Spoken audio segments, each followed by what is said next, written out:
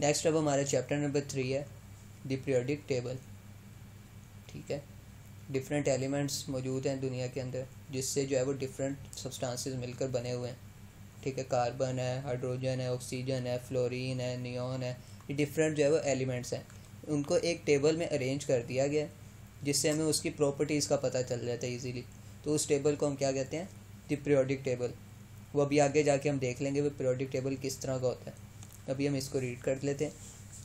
It is very difficult to imagine anything as small as an atom कि atom को मैयर imagine करना कि उसका साइज़ कितना होगा वो बहुत मुश्किल है।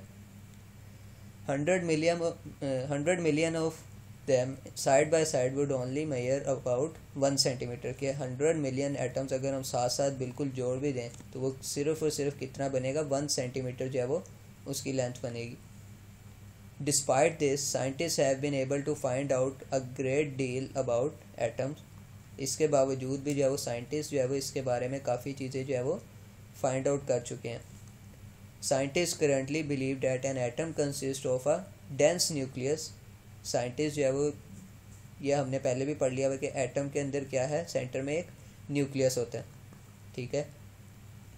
डेंस न्यूक्लियस है, भारी होता है, ये ठीक है, इसके अंदर मैस है मतलब वो किस तरह से है, आप हायर क्लासेस में जाके पढ़ लेंगे कि ये डिस्कवर कैसे हुआ था? Nucleus surrounded by a negative cloud of negatively charge electrons nucleus के बाहर जो है वो शेल्स होते हैं और शेल्स के अंदर जो है इलेक्ट्रॉन्स रिवॉल्व कर रहे होते हैं।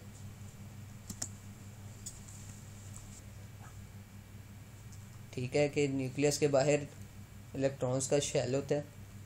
The nucleus contains positively charge protons और न्यूक्लियस के अंदर कौन कौन सी चीज़ें हैं? पॉजिटिवली चार्ज पार्टिकल्स है जिसको हम क्या कहते हैं? प्रोटॉन कहते हैं। एंड इलेक्ट्रिकली न्यूट्रल न्यूट्रॉन्स और एक ऐसे पार्टिकल्स भी न्यूक्लियस के अंदर मौजूद हैं, जो यहाँ पे उन्होंने ब्लू कलर से शो किए हुए हैं, जिनके ऊपर कोई चार्ज नहीं होता। उनको हम क्या कहते हैं? न्यूट्रॉन्स ठीक है तो ये एटम की शेप है। इस सेंटर में एक न्यूक्लियस होता है। न्यूक्लियस के बाहर जो है वो इलेक्ट्रॉन्स के शेल होते हैं। जिसके अंदर इलेक्ट्रॉन्स रहकर रिवॉल्व कर रहे होते हैं, किसके गिर्द? न्यूक्लियस के गिर्द। और न्यूक्लियस के अंदर क्या क्या चीज़ें हैं? पॉजिटिव चार्ज पार्टिकल है प्रोटॉन्स और जो न्यूट्रल पार्टिकल है, वो क्या है? Neutrons neutrals mean no charge neutral का मतलब है उसके ऊपर कोई चार्ज नहीं है। और इलेक्ट्रॉन्स पे कौन सा चार्ज है? नेगेटिव चार्ज ये एटम की कंपोजिशन आपने याद रखनी है। Thank you